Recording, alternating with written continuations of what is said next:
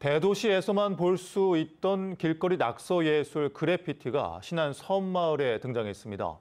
인구 소멸과 지역 활성화를 위해 예술섬 프로젝트를 추진하고 있는 신안군에 기존 벽화와는 차별화된 예술섬이 만들어지고 있습니다. 신고아 기자입니다. 월 임대료 만 원인 청년 주거용 아파트 외벽이 화려한 그림으로 채워졌습니다. 갯벌의 생물에서 영감을 받은 역동적인 선들은 바다와 들판, 갯벌을 상징합니다. 뉴욕 할렘가 출신으로 17살부터 낙서 예술, 그래피티 작업을 해온 존 원의 작품입니다. 새로 지어진 신안군 가족센터 외벽에는 세계 자연유산인 신안갯벌의 생물과 멸종위기 동물들이 그래피티 작품으로 표현됐습니다. 스페인 출신 작가 덜크의 작품으로 자연과 동물의 아름다움을 표현하고 있습니다. 해머 드릴로 그래피티를 하는 포르투갈 출신 작가 빌스.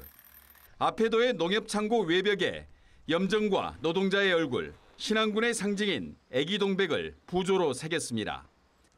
신안 천일염과 포르투갈 타비라 지역의 소금의 연관성, 노동계급의 노고가 표현됐습니다. 돌아다니면서 이 작품은 이제 어떤 화가가 그렸고 이런 특색을 알 수 있게 돼가지고 재밌게 찾아보면서 돌아다닐 수 있는 것 같습니다. 대도시에서 길거리 예술을 주로 해온 그래피티의 대가들이 신안섬에서 위대한 낙서 마을이라는 프로젝트를 진행하고 있습니다. 아페도를 그래피티 명소로 만드는 사업은 이들 3명 외에도 국내 작가 등이 참여해 오는 2026년까지 진행될 예정입니다.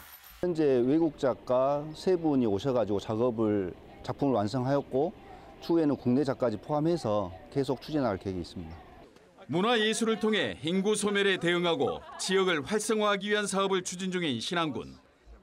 아페도에 그래피티를 비롯해 내년 안좌도 플로팅 미술관 개관이 예정되는 등 예술섬 조성 사업이 속도를 내고 있습니다. MBC 뉴스 신광합니다.